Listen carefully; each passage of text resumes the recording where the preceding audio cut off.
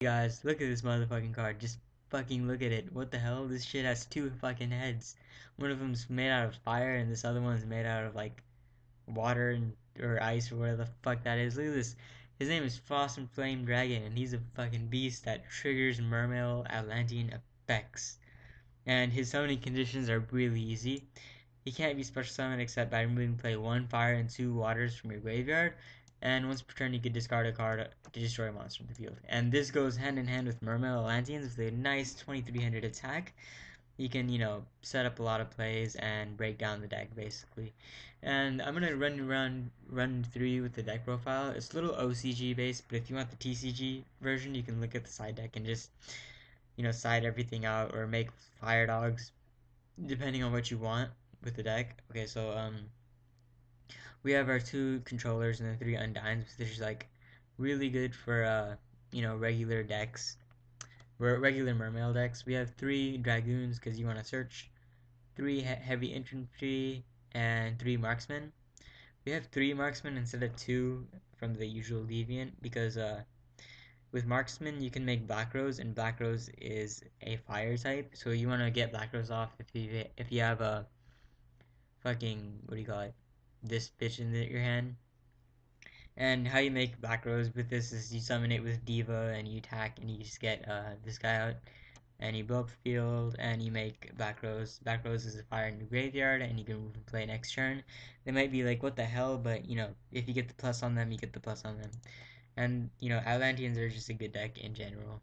So Deep Sea Diva is our tuner and you know, she puts in work.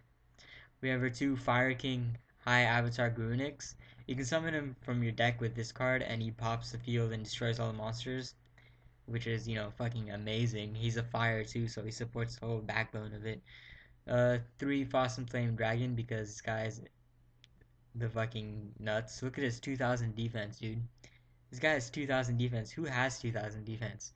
We have three Undines, three Guayvas, because uh, I needed another fire in the deck besides the Laval engine, I decided to side it out and go this instead, and it's been working really amazingly so far.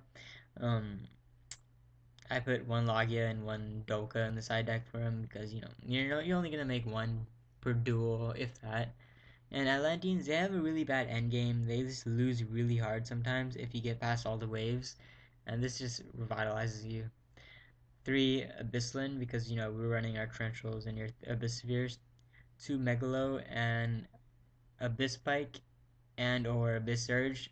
I usually run two Abyss Spike. And you know, you don't have to run this card, but it's cool. I don't mind it.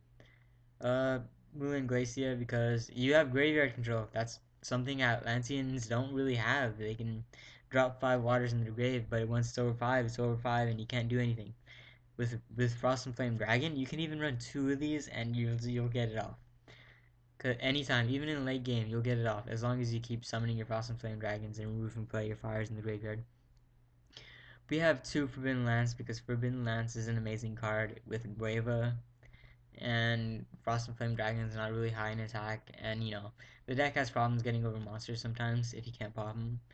Heavy Storm, Monster Reborn, three of Onslaught of Fire Kings to summon this guy as soon as possible. You only have two because it's a really bad, bad dead draw we have Abyss Spheres, two Abyss Spheres, you know, because this Megalo is kind of self-explanatory. Two Torrentials. And with the Laval, Laval engine, we have all these guys, so you can make your, uh, what do you call it?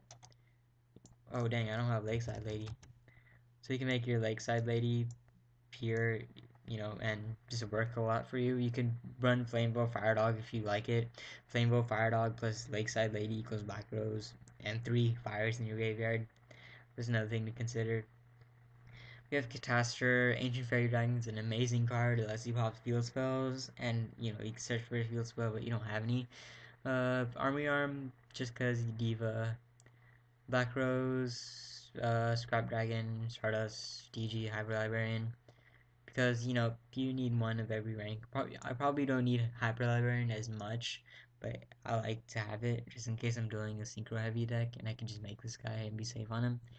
Daigusto Phoenix, Gachi Gachi, Laggia, Dolkka, Leviair, Big Eye, uh, Leviathan because he triggers water effects and Zenmaines.